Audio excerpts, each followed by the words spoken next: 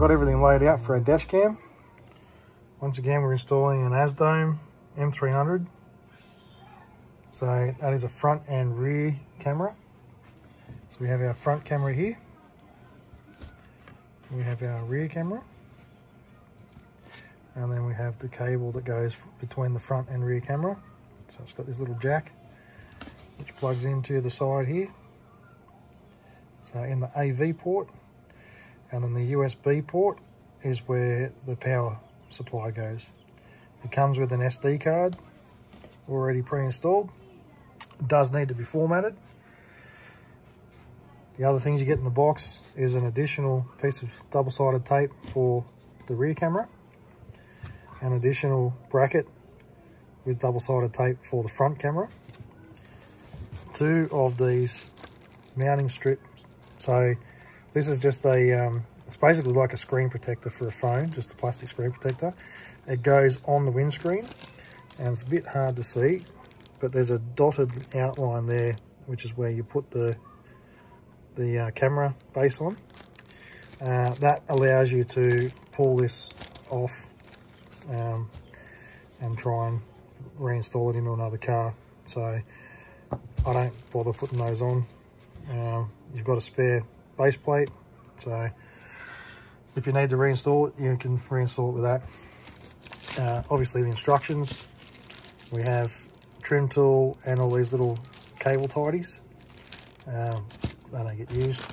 And then it comes with the cigarette lighter type adapter for the USB, for the power supply, uh, which handily has an additional USB out on it. So if you do use that and you're trying to use a phone charger at the same time, then you've got that ability. Uh, we won't be using that. We have this little kit here. So it's a hardwire kit, which gives us an additional function of parking mode for the, the dash cam. So when you've turned the power off, so you, and on the connections you've got uh, the accessories line, the battery line, and negative obviously. Um, so when you turn the, the car off, uh, you still have power coming through the yellow accessory battery and that allows the, um, the camera to, to maintain parking mode. So if it uh, notices an impact, so on and so forth, it's not relying on batteries to, um, to keep recording and keep you covered. So I'll bust this kit open and, and show you what's involved in the kit and I'll obviously show you how to install it. In the kit, you have the driver. So there's your power wires. So you've got two power wires and a negative wire. And then there's the USB connector. So this can mount near your fuse panel. Um, sorry. These little things here, you take a fuse out, you plug this in, put the fuse for that circuit back into the fuse holder and then the top one here it taps off that to this line here. So it's pretty important not to use critical stuff like airbags engine control and so on and so forth for those circuits. So I typically use radio power which is accessories power and the dome light. So your interior lights interior lights are on battery. So that way, worst case, there's something wrong with this. Um, it's not going to affect the operation of your interior lights. Uh, it, will only, sorry, it'll only affect the operation of your interior lights or your radio. So, um, safest way to go about it is just use non-safety critical things or non-operational things. All right, so it's got different fittings here for different types of fuses. So you got micro fuses, standard, blade fuses, uh, mini fuses. So there's two of each one.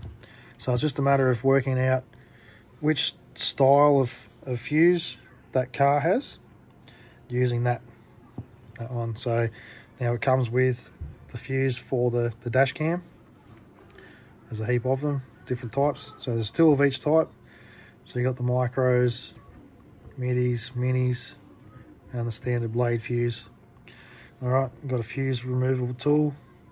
Um, hit and miss whether that works all right, and another trim tool. So this is a very good kit. It's very, very simple to install. It takes minimal effort and minimal time to, um, to get it done and you get a much more professional finish. Above that, uh, you have your parking mode. So instructions come with it. So this is a standard type kit. It's not actually a uh, an AZDOME power kit. Um, wiring diagram, so pretty simple. So it can be used for other things. Now, if you're ordering it, make sure you order the correct type of USB socket, okay? The only qualm I have with this kit is that due to the locations on the, the edge of the dash cam, the way it sits, when it plugs into the USB, it runs back past the AV port. So if you're using a rear dash cam, it's a bit of a pain.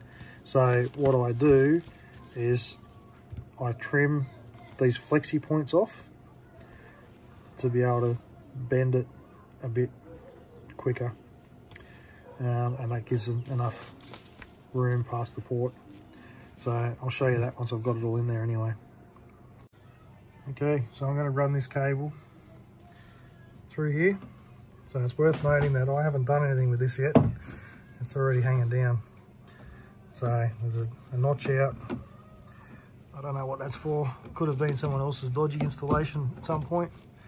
Um, you can see that, oh yeah, here we go. Look. I've got cables sitting in there cut off. So not sure what the story is with that. That's all right. So I'm going to run through here. I'll push this cable, this yellow tongue through, sorry, red tongue. That's going to go all the way up to the front.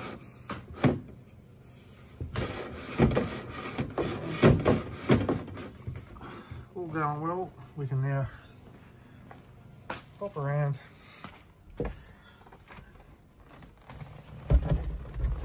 and slide it up here.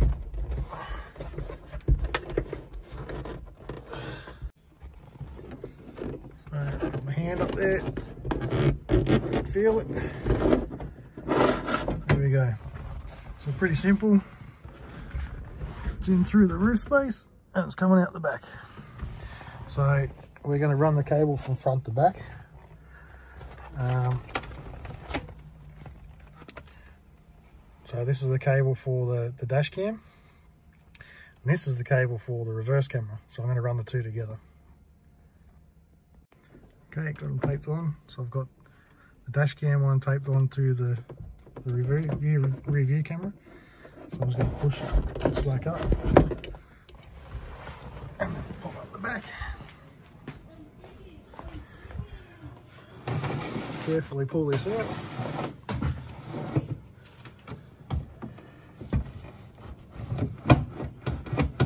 So, sometimes if it gets stuck like that, you can push it in a bit flip it over. Might not go one way, might go the other way better.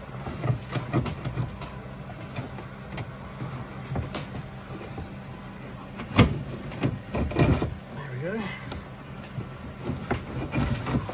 And that's it. So we'll pull out what slack we need. And we've got the cable hanging out the front there. So it's easy to pull back slack. So make, make sure you've got plenty here and uh, we can get it through.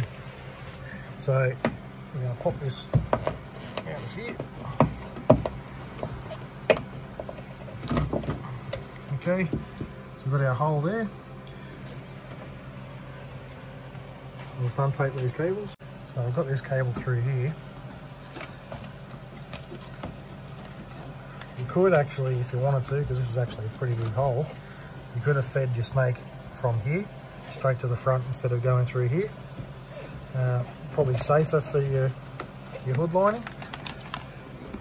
If you have a look in through here, I snake it around.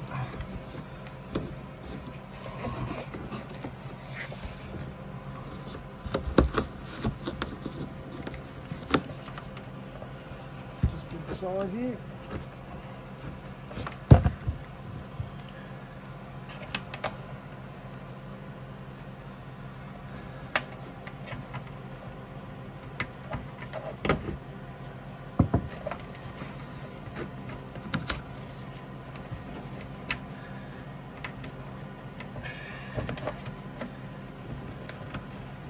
Is our cable.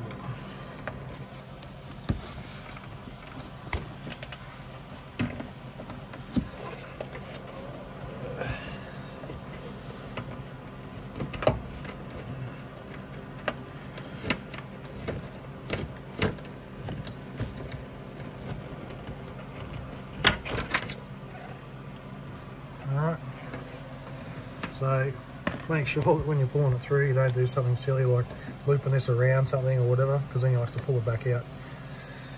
Alright, so I've got plenty of slack there for my dash cam and uh, I'm going to need another probably metre and a half to come up here, along here, along here and around up to here to where my reverse camera is going to go. Alright, so this other cable that was cut off in there, I'm not sure what that's for, but it looks like it might have been added on afterwards here. So that's the same cable. You can see it pulling through there. Um, yeah, it's a bit of an odd one. Not sure what the story is with that. Because the rest of the loom actually looks pretty, uh, pretty solid. So if I can find something else, that's the reason why it's cut off. Anyway, so pull this out here. Feeding through here can be very difficult. Um, you've got a fair sized loom here as it is, and there's obviously not super massive room in there. Um, pass through all these convolu corrugations and convolutions. So easiest thing is to push it in a bit, bunch these convolutions or corrugations up, pinch it, pull it through, bunch them up, pinch it, pull it through, bunch it up, pinch it, pull it through, so on and so forth until you get it all the way to the end. And then you can carefully pull the slack through. If if it looks tight like this, I think I might use a bit of, of um, cable lubricant. Uh, you can just use dish soap, that's all fine. Um, even silicon spray, something like that, that uh, takes off the, the friction, gives a bit of lubricant to the, to the cable and, uh, and removes the friction uh, between the cable and everything so it'll slip through significantly easier. Okay, I couldn't uh, hold the phone and do everything at the same time. Uh, but yeah, I couldn't couldn't feed the, the fat end in straight through. So what I actually did was fed, fed in the basically a loop of the cable. Uh, I pushed the, um, the dash cam cable through uh, with that other cable pulled back and then drag that back through because obviously it's easier to pull that through than what it is trying to get these sharp edges through all the time. All right, so just little tips like that can make a, a big difference. Now we've got that through, we can pull the slack up, all right, and, uh, and get it through the tailgate. Righto, so I just mounted this dash cam camera.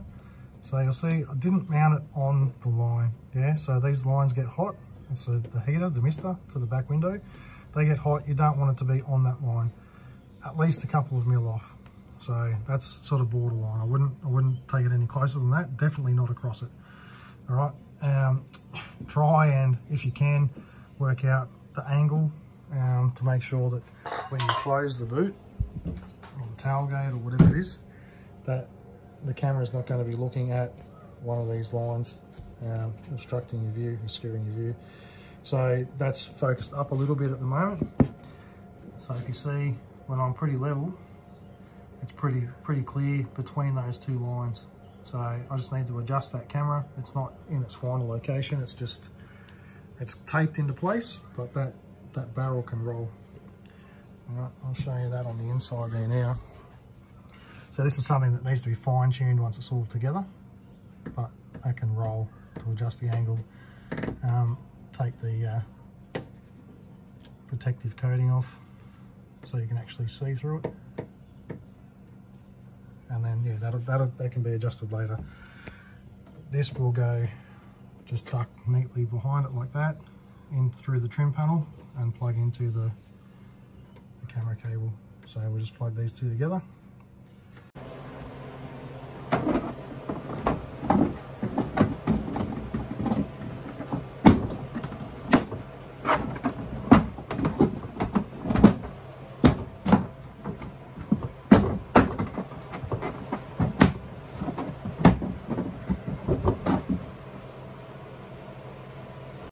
Okay, so this plug doesn't fit quite well in the um, the dash cam. Uh, I'll show you what the story is.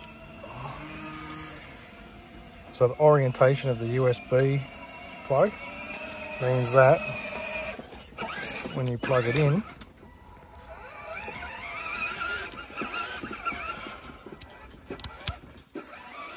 it goes past the AV socket. So what I do is trim this part off.